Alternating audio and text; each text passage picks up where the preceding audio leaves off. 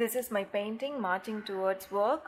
2 into 3 feet, oil on canvas. India is an agricultural country. Before India became all globalized, we were not depending on anyone for food.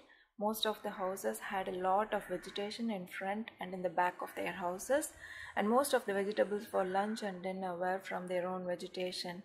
They had sufficient cattle and poultry for egg and meat, so the people of India were all self sufficient food wise.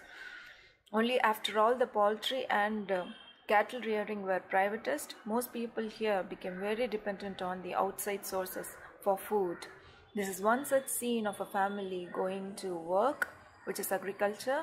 Most of the families in village include cows, and I've heard in most cases the cows were not discharged to meat vendors even after their milking period comes to an end.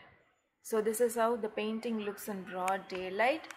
If you'd like to know more about this painting, please mail me on this mail ID there's a link of my website in the description description section. For more such paintings, please check the link. Thank you for your time.